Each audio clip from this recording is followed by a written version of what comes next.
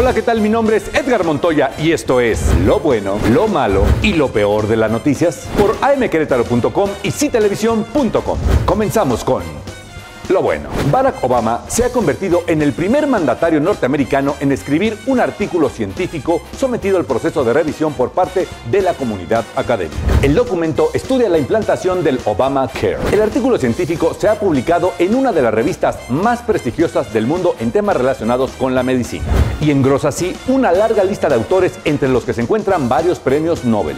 En su introducción, el artículo de Obama trata brevemente cómo el Obamacare fue implementado. Sin embargo, el grueso de la publicación trata del funcionamiento de la nueva legislación en materia sanitaria y sus resultados. Y han podido ahorrarse cerca de 20 mil millones de euros gracias a la nueva ley.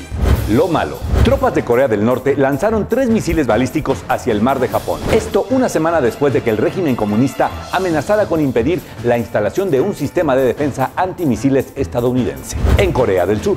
Fuentes allegadas al gobierno de Seúl precisaron que los misiles disparados por el país comunista podrían ser del tipo Scud, los cuales cuentan con la capacidad de poder llegar a todo el territorio de Corea del Sur.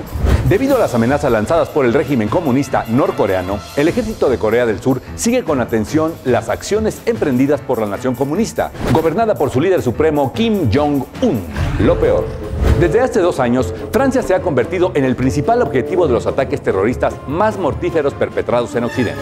Las operaciones militares gales en el extranjero bien podrían explicar las causas de estos sucesos. Fue en el 2013 cuando el país europeo se puso a la cabeza a la ofensiva internacional contra la organización yihadistas en Oriente Próximo y el norte de África, principalmente en Siria, la República Centroafricana y Mali.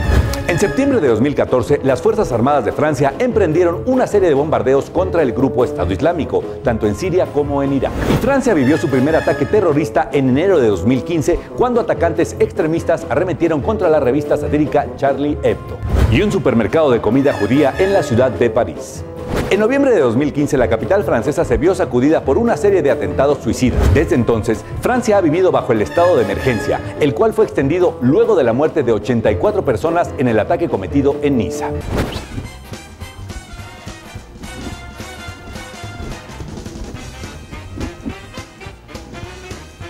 Para algunos ya inició el descanso y en el primer día de vacaciones de verano, el aforo vehicular que registra mayor movimiento es la autopista México-Querétaro, en donde por su caseta entran a la Ciudad de México 22 automóviles y salen 39 por minuto. Por la autopista México-Pachuca ingresaron a la capital del país 16 automóviles y partían 24, mientras que por la México-Toluca, por cada 15 unidades que arribaban, 22 abandonaban la ciudad. Por la carretera México-Cuernavaca entraban 10 vehículos y salían 25 por minuto, y por la México Puebla, por cada 12 que entraban, 9 partían. Recomendamos a la ciudadanía y a los conductores revisar las condiciones mecánicas de sus vehículos, utilizar el cinturón de seguridad, manejar con precaución, respetar los límites de velocidad y abstenerse de ingerir bebidas alcohólicas. Una técnica nunca antes vista en la historia de la gimnasia artística y su inusual gracia corporal le dieron a Nadia Comaneci los elementos necesarios para obtener un 10 calificación sin precedentes en los Juegos Olímpicos de Montreal 1976. 40 años después, su rutina aún continúa siendo un recuerdo imborrable de las justas olímpicas. En aquella competición, Nadia Comaneci, con apenas 14 años de edad, logró alcanzar la calificación perfecta en 7 ocasiones para ganar 3 medallas de oro, una de bronce y una más de plata. Vamos a ver este video para recordarlo.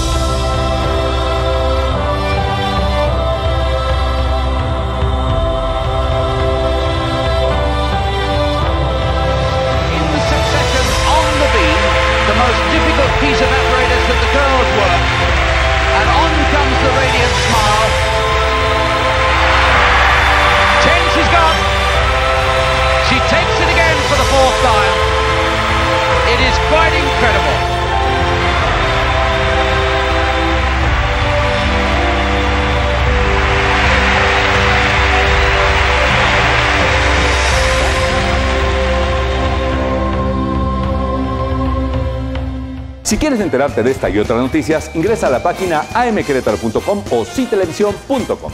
O también puedes seguirnos a través de nuestras redes sociales, Facebook o Twitter. Esto fue lo bueno, lo malo y lo peor de las noticias. Hasta la próxima.